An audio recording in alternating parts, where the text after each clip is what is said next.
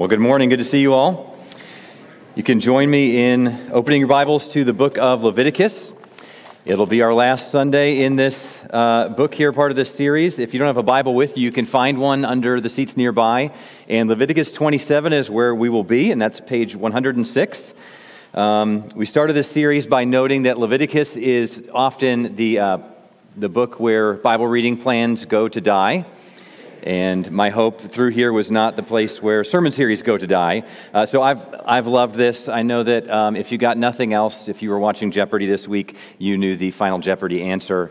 A few of you let me know that this series was helpful for that. Um, but in light of the, the, the prayer uh, that we prayed earlier, um, this book is about uh, the one true God and how good He is, who we really are, and Him coming to dwell with us to know Him and live in His grace. So we'll be wrapping up this series this morning. Uh, we'll have a short series after this on Jesus and how he speaks with authority to a number of issues today, and then we'll be in the book of James after that. Um, the idea of James is that it's just about as different as Leviticus as you could get. Uh, so we'll have some variation here. Uh, let's pray before we begin. Our Father, we thank you for your word.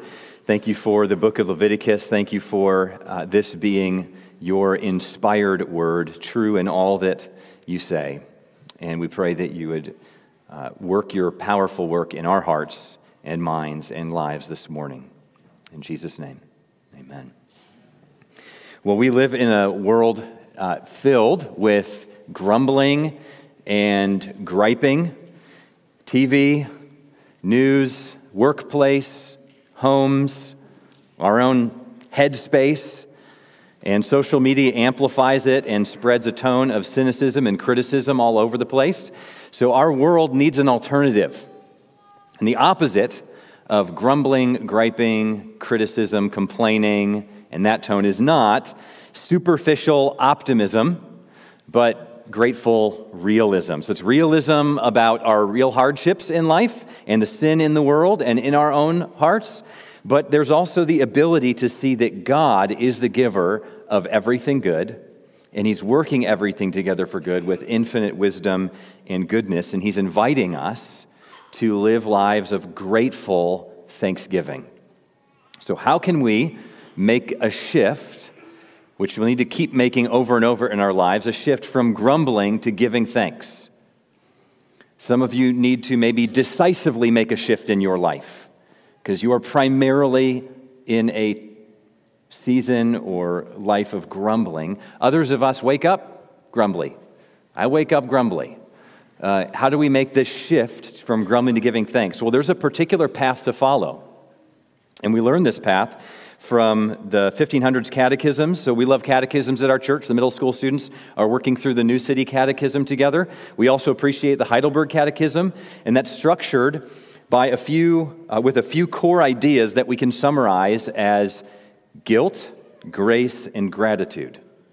And we can add God to the beginning of that since that's the starting point. So this is the pathway God, guilt, grace, leading to gratitude. So that's the path we need to follow to replace grumbling with gratitude. It's also a summary of the central message of the Bible, the gospel. If you're not a Christian, learning what the Bible means by those words and those realities is the pathway to become a Christian. If you want to share about Jesus with others, just memorizing those four words can help give a framework for the topics that people need to understand and know to come to know Jesus. So we start with God, the triune God, who's the good, wise, and loving creator of all things. And then, in comparison with Him and in response to Him, we recognize that we have guilt. We've rejected Him. We sin in many ways. Part of it is our own grumbly heart. And God responds with grace. Jesus came to take our judgment so that we could receive his blessing, receive forgiveness, and eternal life. And so all of this leads then to gratitude, growing in the life of giving thanks to God. This is also a fitting response to everything we've seen in Leviticus. So we're finishing this series in the book of Leviticus, and one way to summarize what we've seen in the book of Leviticus up until the last chapter is God, guilt, and grace.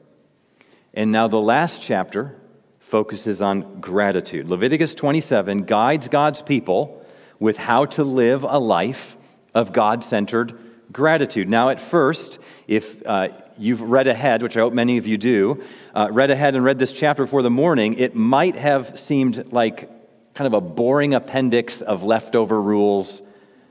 It's kind of not sure where to put them else in the book, so we'll just kind of tack them at the end. Chapter 26 seemed like a fine conclusion. Uh, but this is not an appendix, it's actually a response to the whole book. The assumption of this chapter is that God's people should respond to his grace with gifts of gratitude, and this chapter is giving guidance to God's people for how to do that. So, this chapter guides God's people with how to show gratitude. So, here's the message God's grace leads God's people to respond with gratitude marked by faithfulness, faithfulness, sacrifice, and wisdom. So, we're not going to read through the whole chapter here at the beginning. We'll read through it as we go. And this chapter is about gratitude, and it shows us two gifts and three principles. So, really simple outline this morning two gifts, three principles. Okay, so first, Israel expressed gratitude with two kinds of gifts promised gifts and immediate gifts. So, the first are promised gifts, these are vows. A vow is a promise to give God something in response to answered prayer. It's usually done in a desperate situa- situation. So you cry out to God, you beg Him to deliver, and then you add a vow to your desperate plea. So it may sound something like this If you get me out of this situation, I promise I'll start going to church. Or if you rescue me, I promise that I'll be done with that sin. Or I'll do whatever you want. So the first 13 verses of this chapter focus on big promises promises to give God your life or the life of an animal in devotion. So the person would say something like, If you deliver me, I'll give myself to you. I'll devote myself to you. I'll give myself to serve you like a priest. Or, um, if you deliver me from this situation, I devote my whole family to your service. So, one example of this is Hannah in 1 Samuel. She was bullied and shamed for being childless, and she longed for a child, and she pleaded with God for a child. And she promised that if God gave her a child, she would devote that child to God's service. And God answered her prayer, and, he, and so she fulfilled her vow. She, she let her child, Samuel, grow up and serve in the tabernacle. Now, here's a practical challenge with this. What if a lot of people, I mean, hundreds of people, start vowing, I will devote myself to your service like a priest for the rest of my life. Or hundreds of people pray like Hannah and say, I'm going to give you my son and let him serve in the tabernacle. I mean, the, the, priesthood isn't set up to run a daycare for hundreds of Israelite children. So, how do they fulfill these vows? Well, that's actually what this text focuses on. A person could give a financial equivalent to, for the labor.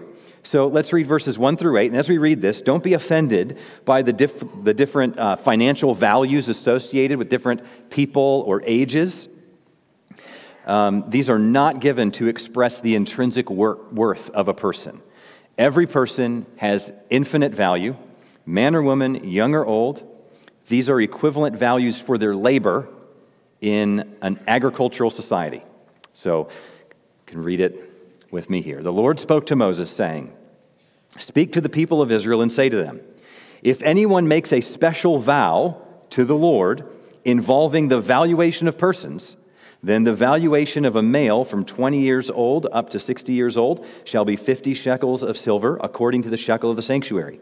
If the person is a female, the valuation shall be 30 shekels. If the person is from 5 years old up to 20 years old, the value shall be for a male 20 shekels and for a female 10 shekels.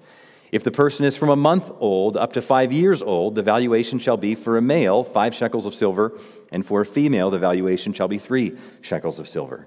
And if the person is 60 years old or over, then the valuation for a male shall be 15 shekels, and for a female, 10 shekels. And if someone is too poor to pay the valuation, then he shall be made to stand before the priest, and the priest shall value him. The priest shall value him according to what the vower can afford. So every person is valuable. Psalm 49 says that a person cannot ultimately even be valued They are priceless. But in this context, they do have a kind of production value to society that required physical labor. So these are valued according to earning potential. So you can see men and women in their prime have more earning potential than any other age. So why give these values at all, though? Well, because in this context, a person is vowing to give themselves, or a family member to be a servant of the Lord, or they're, they're vowing to give the valuation of a person to the Lord.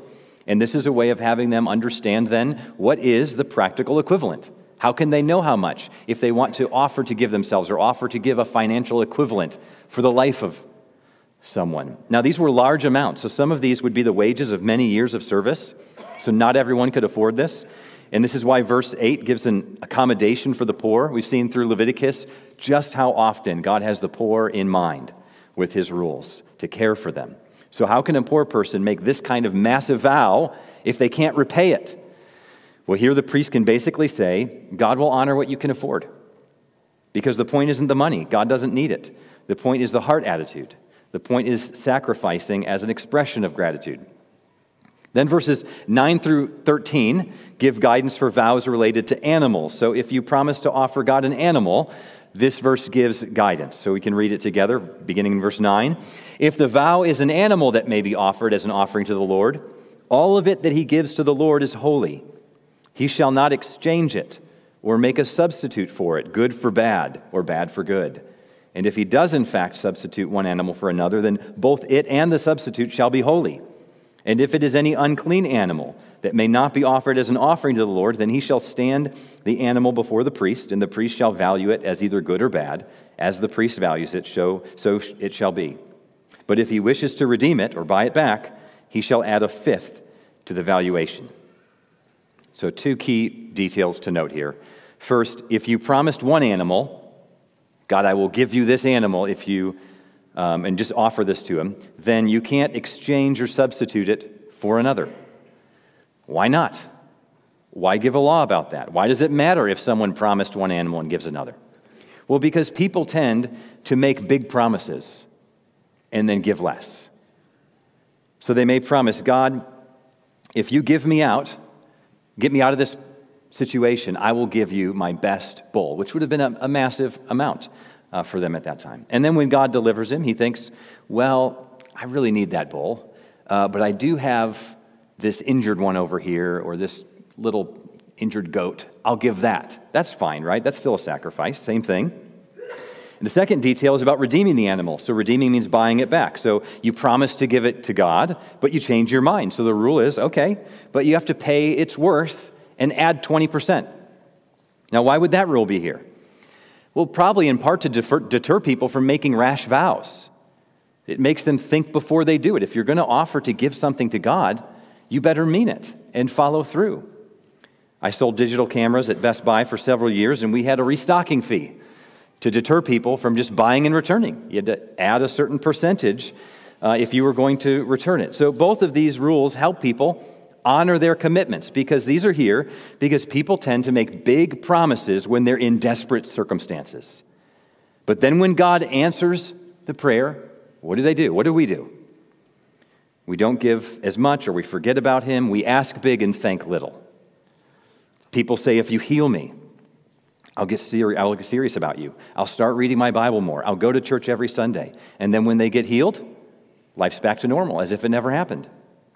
We make promises in the heat of the moment, but then when God actually responds and answers our prayers, we forget about Him, or we forget we even asked Him, or we think, well, this probably would have happened even if I didn't call out to Him. Uh, same outcome either way. So we decide we don't want to fulfill a promise that we made. And this section says you need to fulfill it. But here are some practical solutions to fulfill these differently. But don't take advantage of it. To promise big and fulfill small is not expressing gratitude, it's taking for granted. So that's the first kind of gift promised gifts, vows. The second are immediate gifts. So you dedicate something or set something apart for God, and it's a way of expressing gratitude, not for deliverance out of some crisis, but just in response to God's general kindness to you, or maybe a particular kindness to you. So everything we have is a gift from God. So anytime we give anything to Him, He does not need it. We're just giving him what he already has. We're setting apart for his use what he already has given to us. He doesn't need anything, but sometimes it's fitting to offer something back to God in this context. And so they want to give God a big gift of gratitude. So, beginning at verse 14, God gives guidance for how to do that wisely. So, first, someone may want to dedicate a house or a plot of land to the Lord. So, this is verses 14 to 15. Can read it with me. It says, When a man dedicates his house as a holy gift to the Lord, the priest shall value it as either good or bad. As the priest values it, so it shall stand. And if the donor wishes to redeem his house, he shall add a fifth to the valuation price, and it shall be his. So this person wants to give a house to God. This means it would be set apart perhaps for the priests to use as they saw fit. And the priest can decide on the value of the house. So if you want to then buy the house back, you can. But again, you have to pay a bit more for like a restocking fee, like 20% here. God gives exceptions to all of this in the rest of the chapter. So you can't devote firstborn animals for instance, to God because those are already viewed as devoted to Him. You can't devote something to God that's already been dedicated to God. And if you dedicate something to God, you can't sell it to someone else. else. And why not? I mean, these are all actually reasonable when you think it through, because that would be pretty cheap. It'd be a way of, you know, ripping God off while still looking spiritual. So you dedicate it to God as this spiritual act of giving to God, and then you sell it so you can get the money. So in the last verses, God gives guidance about giving tithes. So we think of a tithe as 10% because that's what the word itself means. But when you actually add up all of Israel's tithes, they were giving something more like 23%. And they gave mainly to financially support the priests and to care for the poor. So those are the two gifts of gratitude promised gifts, vows, and immediate gifts. How do we apply this to our lives? What do we do with this? Well, we see three principles here. First, giving is responsive, it's a voluntary response to God's grace. None of these were required. So these were ways of, for Israel to express thanks to God. So, with promised gifts or vows, they're just making the promise of their own desire to respond to a future deliverance. So they're voluntarily offering God something if He delivers them. And then with immediate gifts or dedications, they're just already giving in response to some kindness they've received from God. So the principle still applies today, even if the way in which we're going to express this changes. Vows are rare, but they're still sometimes made in the New Testament. And we don't have priests to give houses or land to, but we still are encouraged to give for the same reasons that the Israelites were encouraged to give to support Christian leaders and the mission and ministry of the church and to care for the poor. And so giving is viewed as a total, whole life, even whole body response. In the New Testament, it's especially a response to God's grace to us through Jesus. So the pattern of God seeing who He is and knowing Him, and guilt, recognizing our sin and misery apart from Him, and then His grace to us, especially through Jesus, and his redeeming salvation for us, all that leads to gratitude. That's the pattern of the book of Leviticus. That's the pattern of the whole Bible. That's the pattern of the Christian life. We see God's grace, and it leads us to gratitude. Romans 12 is the New Testament parallel to Leviticus 27. So the first 11 chapters of Romans unfold the topics of God and guilt and grace through Jesus and then it leads to this response of gratitude. So here's how Romans 12 begins I appeal to you, therefore, brothers, by the mercies of God. So, in light of all of his mercy, grace, in light of your guilt and who he is, I appeal to you to present your bodies as a living sacrifice, holy and acceptable to God, which is your spiritual worship. So, this is dedication language.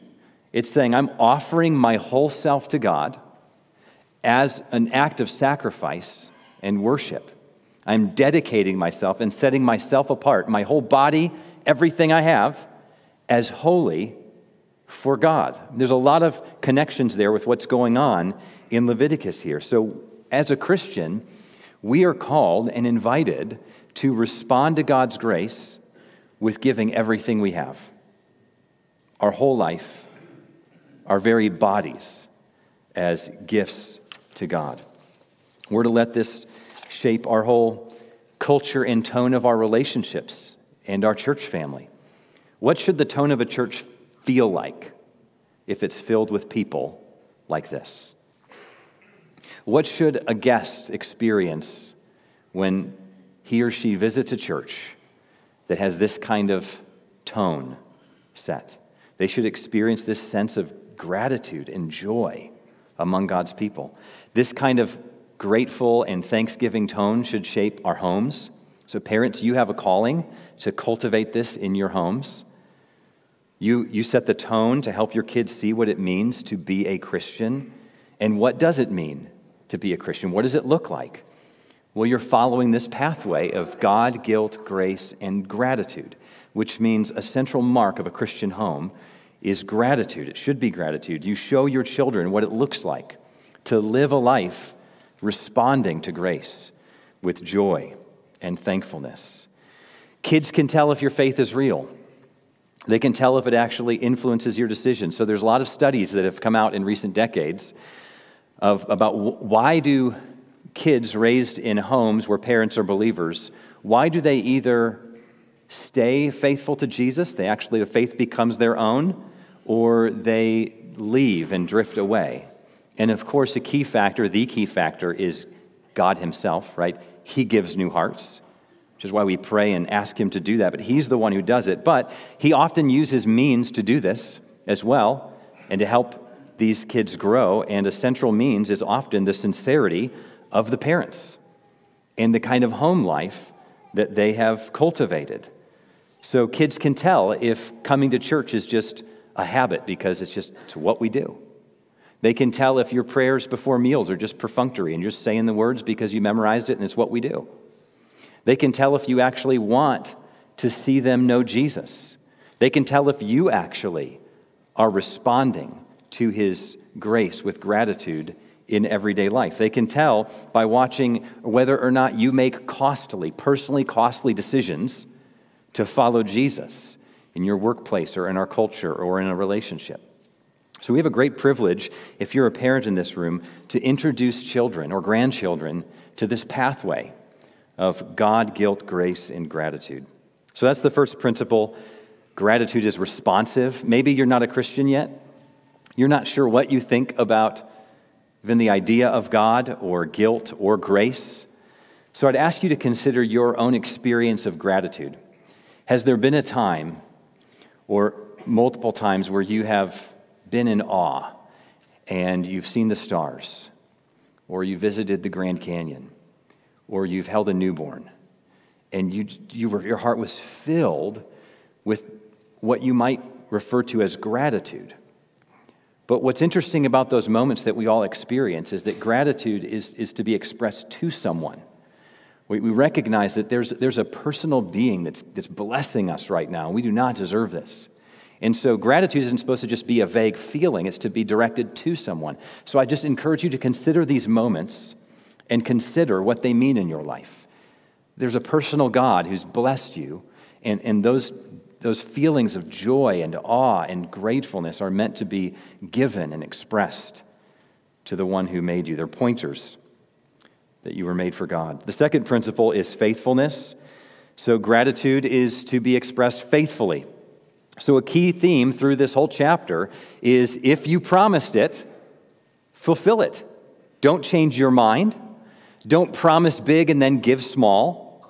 So, God is addressing this tendency to cry out, make a big promise to Him, and then when He delivers you, you give small, or you are half hearted, or you forget about it altogether. And the reason, uh, and a reason for this then is because our own hearts are ungrateful, but this should lead us to then be really careful about not promising more than we're intending to give.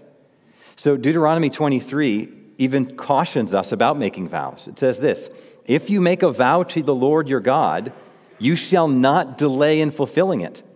For the Lord your God will surely require it of you, and you'll be guilty of sin. But if you refrain from vowing, you will not be guilty of sin. You shall be careful to do what has passed your lips, for you have voluntarily vowed to the Lord your God what you have promised with your mouth. So, do you have, and maybe you've been thinking about it already, do you have any unfulfilled vows to the Lord? Have you promised something to Him and not fulfilled it? If so, you should address that with Him. You should either fulfill it now or if it was a rash vow, and there's a biblical category for that, you should apologize for that if you can't keep it. The Bible has a category for rash vows that shouldn't have been made and can't be kept. And unfulfilled vows are not the unforgivable sin either, though. It says you're guilty of sin, but it's not the unforgivable sin. There's grace for you. So bring that to God and receive fresh grace. Maybe you promised that if He gave you a certain job, you would give more financially to the church or to people in need. Maybe you promised that if He healed you, you'd read the Bible every day the rest of your life and pray more. Those are okay promises. So it's time to fulfill them then. And the truth is, we're often so weak that we can't fulfill these on our own. We need God's supernatural help to even make good on the very reasonable promises that we offer to Him. And that's okay. It's okay to ask Him for help to fulfill the very thing you promised to do for Him. One of my favorite verses is Paul's prayer in 2 Thessalonians 1:11, and he prays that our God may fulfill every resolve for good. So he's praying to this church. He knows that there are resolves for good in this community. And one of the things he prays for for those Christians is that God would fulfill our resolves for good. So you have resolves for good, whether vows or promises or just resolves. And how, I mean, how often do we have ambitions to do great things for Jesus and they just fizzle out? We're weak. And so, one of the things we can do is not just make big resolves, but pray and ask God, would you fulfill this resolve for good in me? I can't pull this off on my own. And God's happy to do that. It's a prayer He loves to answer. A final principle of gratitude is that it's sacrificial. These gifts in this chapter were all very costly. People are giving God a house or land. They're promising to give their lives to Him, and then the equivalent cost of several years of wages, in addition to the tithes they were already giving, which was added up to 23 or so percent. So, all these gifts in this chapter are voluntary, they're responding to God's grace, and they're also very costly. So, if Israel is giving this much and expected to give this much. How much should New Testament Christians give? We've seen so much more of God and His grace. And there's so much more then to give. Well, this now wraps up the series on Leviticus, and we end then really where we began. The first week we saw that this was about restoring the life we lost in Eden. And what was Eden supposed to be like? Well, what kind of life were you and I created for? If the world never had sin enter it, and your own heart and mind weren't corrupted, what kind of world would this be? Well, it would be a world of gratitude. We would receive everything from God, and we would give our whole selves as a sacrifice to Him. But we've now left Eden. We live in a world of sin and death, and we've contributed to it. So, what does God do? Well, we've seen in Leviticus that He draws, draws near. He gave Israel this whole symbol laden setup in Leviticus and everything about it the tabernacle, the priests, the sacrifices, the food laws, all of it echoed Eden. And it also pointed forward to how God would restore and make better everything we lost in the beginning. It all points forward to Jesus and the new world to come. And so we now live in the age of fulfillment. Jesus has come, and he's come as the true tabernacle. He's come as the great high priest, offering himself as the final sacrifice. He's brought the new covenant that brings transformation of the human heart with it and the outpouring of the Holy Spirit to change us. We can now receive total forgiveness, his indwelling presence as his people who are now the true tabernacle and presence of God and a transformed life. And so, a, sec- a central mark of this new age that Jesus has brought is gratitude, grateful thanksgiving, expressions of gratefulness, and a mark of a healthy church is gratitude. So I'll end by quoting uh, my favorite commentary through this series. It was a little book called Teaching Leviticus by G. Geoffrey Harper. And he, he says that Leviticus concludes here with a compelling picture of a thankful community coming to the one who continues to rescue and deliver, drawn ever deeper in worship and appreciation of their God. For a book so saturated with notes of divine grace, this is a most fitting end. And it's a most fitting way to live. Let's pray.